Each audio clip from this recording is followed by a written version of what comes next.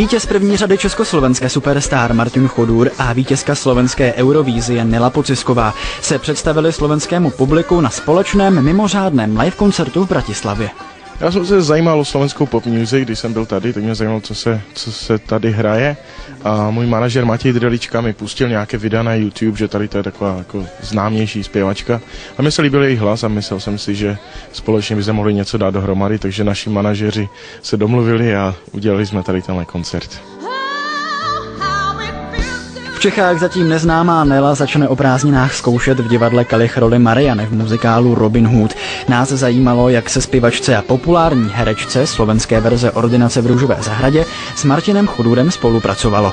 Ja myslím, že hej, uh, mali sme strašne málo skúšok, musím sa priznať, pretože aj máte mať toho milión 1500 ja takisto, čiže sme sa ale snažili nejako to zvládnuť. A je v prvom rade úplne úžasné. Ja idem prvýkrát so živou kapelou, naozaj, že za mnou stoja ľudia a hrajú a celé je to geniálna atmosféra. Máte absolútne pre mňa špičkový spevák, čiže s ním sa ani nedá nesadnúť si. A přeskočila mezi váma třeba nějaká jiskra? to riešilo viacero médií. Um, nie, máte mám frajerku, čiže... Takže nechceš to komentovat, to znamená, že to nevylučuješ. Nie, nie, nie, nie, že nevylučujem. Je, je to strašne zlatý chalan, ale iskra v rámci profesionality preskočila. Spojení Martina a Nelly je díky mezinárodním televizním soutěžím rozhodně blížší slovenskému publiku. Martin je veľmi zaujímavý spevák a išla som sem kvôli tomu, že ma zaujíma kombinácii, uh, v kombinácii s Nelou Pociskovou, pretože Nela je výborná spevačka, uh, veľmi dobrou poznám a teším sa veľmi. Nelka má neskutočný hlas, ona je neskutočný človek a máte chodúr, ako, tak ten keď zadelí, tak to stojí za to.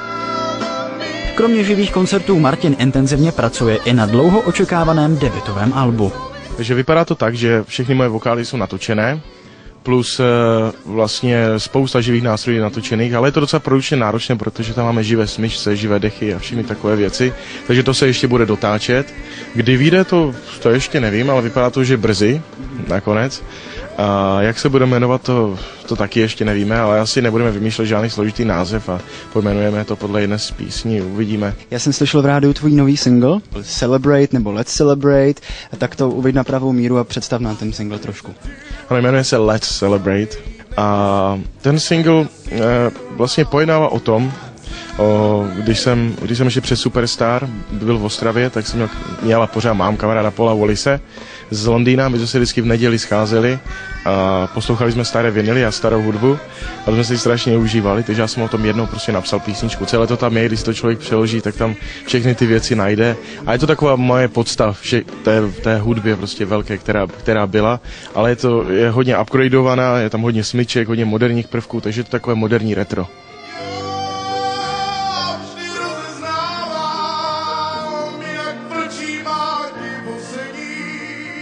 Bratislavské publikum odměnilo Martina Anelu za jejich vynikající pěvecké výkony několika bouřlivými aplauzy v průběhu samotného koncertu. Znělý hlas Martina Chodůra a excelentní pěvecký projev talentované Nelly Pociskové byl opravdovým zážitkem.